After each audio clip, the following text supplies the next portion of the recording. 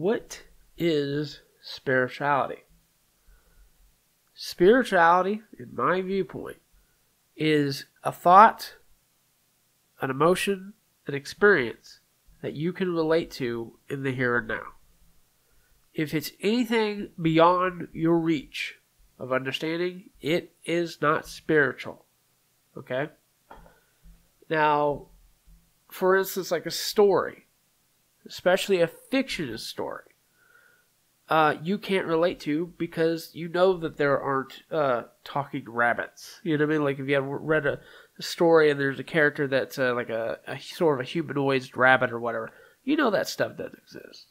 But the story itself has a moral to it, in which that moral again can help you relate to in real life.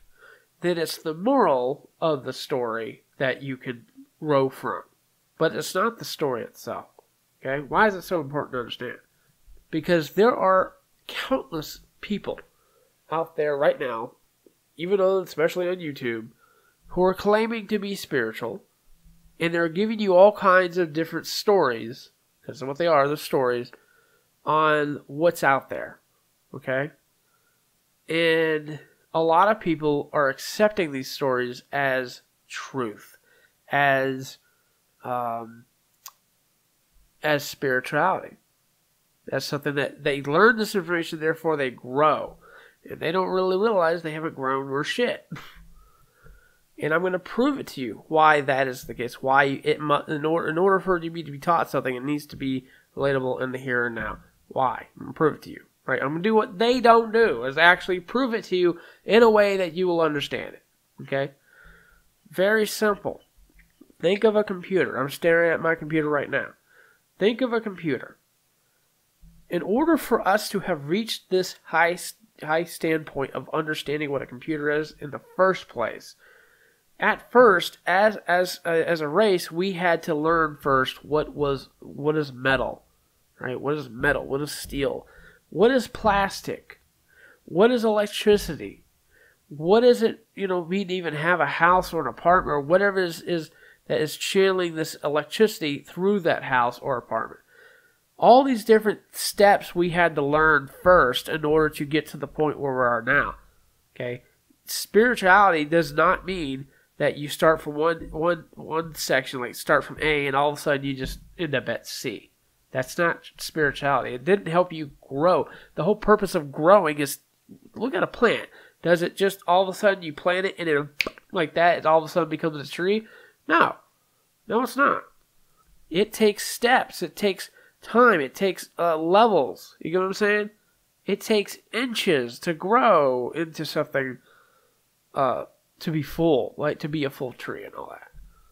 And it begs you to question why are there so many people out there who are talking about all kinds of stuff that you can't relate to, that you can't prove that it exists, um, and they're expecting you to pay them money. Why is it even, you know, when I question things, you know, I question these people, I question just, you know, the beliefs, I, I criticize things, you name it. Why is it that when I do all that stuff, that I'm perceived as the bad person? Well, I'm perceived as the bad person because I'm having these people realize that they didn't take the steps to get to that understanding. And they have to basically go back to square one and actually learn as to what all this stuff actually means. But why are these people saying all this stuff in the first place? Why are they wanting your money for? Why do they want you to exchange uh, something that you can't relate to for for money?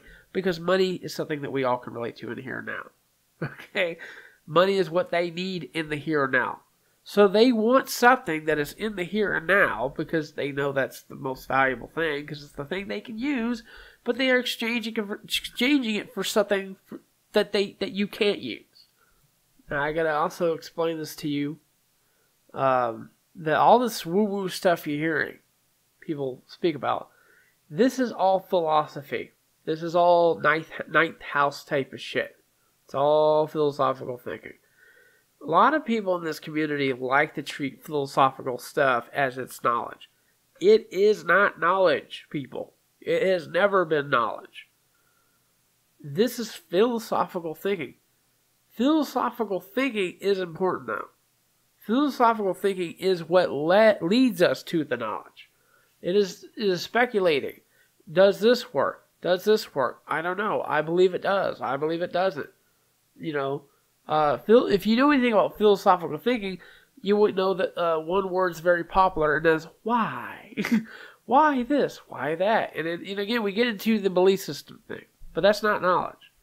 Another comparison that I've uh, heard uh, even astrologers say is that Sagittarius is the you know pastor, is the preacher, right? But preachers don't know anything, right? And immediately you're going to all insulted and all that. Listen here, pastors talk about a religion that requires faith. Faith. Faith is what? It's no knowledge of anything. It's belief. You know, and so that's what they're teaching. They're not teaching you knowledge. They're teaching you what they believe God told them to tell you and all that stuff. It's all faith based, but it is not knowledge. So that house, that energy, not knowledge. Then why do they say then that Gemini is, you know, the sign, at least when, especially when it comes to the South Node, North Node stuff, that Gemini is, you know, is about teaching this this philosophical stuff but putting it in a, in a way in which the every everyday person will understand it, because it's how they're going to grow into that higher understanding. But I got to throw this in there though. I find this interesting, and even further uh, further reasons why I don't. I'm, I'm I'm even more careful about who I listen to these days to tell me what's the truth on things because Back in 2015, astrologers were pretty much saying that uh, the Sagittarius was the teacher and that Gemini was the student. That's what I constantly heard. Now I'm getting like conflicting information that said, no, actually, uh, Sagittarius likes to learn stuff, and Gemini likes to teach you about what they learned, right? Now, does that mean that a Sagittarius can't teach you shit, right? Or that that a uh, that a Gemini can't learn. Does it mean that? I mean, every sign can learn and teach whatever. Okay, but when we're talking about this you know, specific axis, that's like the the premise of all this is teaching and learning and stuff. So which one's the teacher? Which one's the student? Well, again, you're getting. I've heard conflicting belief systems, uh, conflicting ideas as to what it philosophically means to them. You know, but my philosophical belief because I can't prove to you that this is the, exactly the way it actually is. But my philosophical belief on this is actually Sagittarius is the student, and that Gemini is the teacher. Why? Well, but let me explain this though first. I did not say that Gemini is the teacher of higher learning. No. Gemini is the teacher of lower learning. Okay? That's not to insult or anything. I'm just saying like Aquarius is the higher air sign. Aquarius is the higher knowledge, whereas Gemini is the low knowledge. So even if you're taking, see, let me put it another way too. Remember, telling you things that you can relate to in the here and now. Um, even if like I've heard astrologers say that Gemini likes to talk about the weather. You know, that's what Gemini is, talking about everyday things, the weather what's going on in your neighborhood, all that stuff. And okay, maybe that is to some degree, but then I'm like, but you're you're not listening. uh, when I use that computer analogy, I took a higher concept, a higher philosophical idea, and I put it in terms that you can relate to and to be even able to understand that higher understand. So not everything Gemini is is quite like low, but it's going to be it's going to be formed into a more lower everyday way of understanding things. You get what I'm saying? But either way, Sagittarius, student, uh, Gemini is the teacher. And I got more sort of like proof that this is the case for me. I, this is where I lean more towards.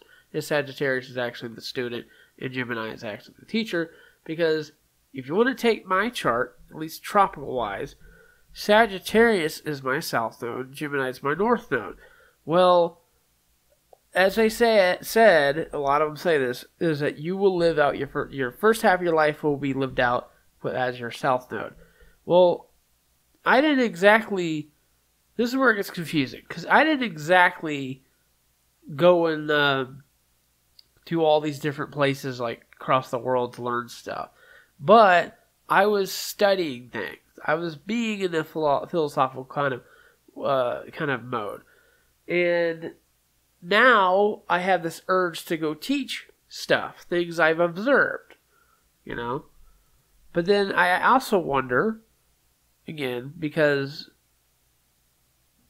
if if I wasn't going out there, since they say that you're supposed to live your your first half of your South Node, whatever.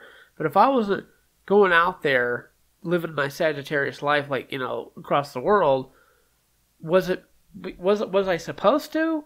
Was it because maybe my life got hindered in some way that prevented that to happen?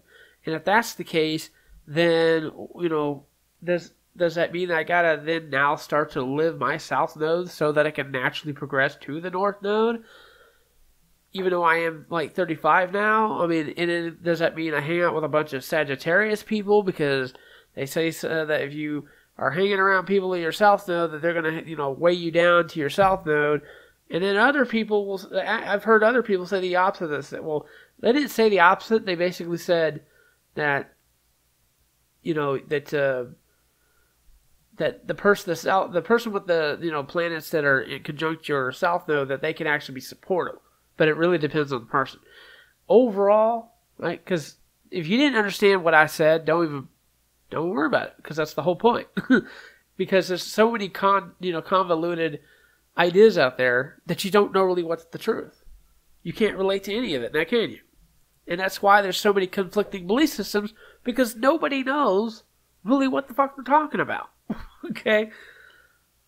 When you start to talk about things we do understand, for instance, uh, we all know we all know what a phone is. There's no argument there. We know what it's for, right? We all can accept that. We all know what the sun is, right? We know what the sun, the moon, we know what this planet is. We know things that, that are easily accessible in the here and now. We know what that is. Nobody's arguing too much about that. But we start to argue about what's out there, what we don't know. And really, a lot of us have a hard time growing in the first place because we're too busy being all philosophical. You get what I'm saying? So none of that, again, none of that, it's really spiritual. It's confusion. It's delusions, confusion, it's all this stuff. But when we start to focus on the here and now, and what we do understand, and then we start to naturally grow uh, as a result to that, then that's when you gain real spirituality. And my final point, though, and this is where I'm going to piss off a lot of these people in this community, and I don't care, is anyone who is not even for sure if I already mentioned this I've recorded this recording so many times already. But if anyone is selling you information, telling you these tarot card, especially these tarot card readers, not all of them do this though. You know, some of them are very generic. You know, but I'm going to get that into that in another video. But the ones who are absolutely telling you, "Oh, the spirit guide, your spirit guide," they'll say things that your spirit guides even though there's 20,000 people watching, you know, watching the video, how whose spirit guides are you really talking about? But your spirit guides are channeling through me through these cards to give you a message. Right? Anybody that is telling you all that stuff that you can't prove again to the in the here now, don't listen to them. Don't listen to them. They're just after your money. Why though? Why are they after your money? because that money is something that they can relate to in the here and now because that is what they that's what they value.